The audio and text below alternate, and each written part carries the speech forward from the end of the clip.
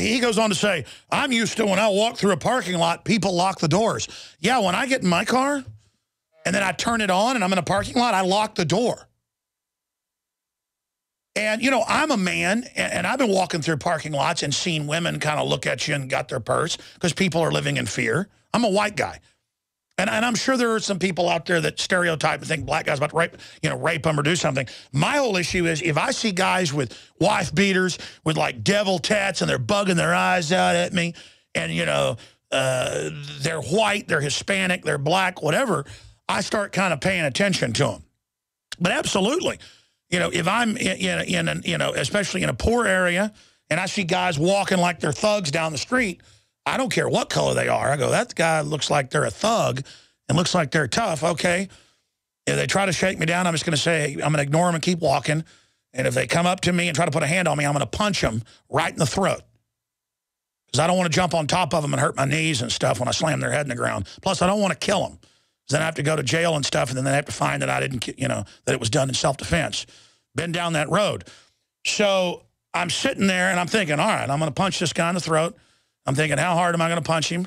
And, and, and, and I'm not thinking he's a black guy. I'm thinking the guy's walking like a thug, thinks they're tough, and I'm thinking about how I'm going to defend myself.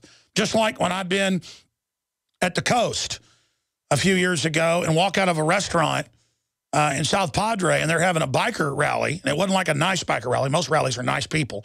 It was like thug wannabes rode up with a motorcycle and were revving looking at me. And I was thinking, okay, all right, that guy's taking his helmet off. I'm going to punch him in the throat the minute he tries to get up and do something. And then I'm going to assault those next three guys. Then they'll probably pull a weapon. I need to take that. I mean, that's, that's I mean, like, zzz, that's what I'm thinking whenever something like that's going on. I can't help it. I'm thinking, all right, I'm, I'm ready to kill. I mean, I mean, that's just how I am. And, I, and I'm thinking, all right, all right, okay, instantly assess these guys. These are probably ex-con, real criminals. I've got my three kids here. Uh, that gives me, you know, just turbo dinosaur power. And I'm thinking, control yourself. Don't have a fight unless you've absolutely got to. You know, the man in me is ready to take them all on. And gosh, you know what I'm talking about out there, don't you? You scum. I hate gang members and filth. And it has nothing to do with black people.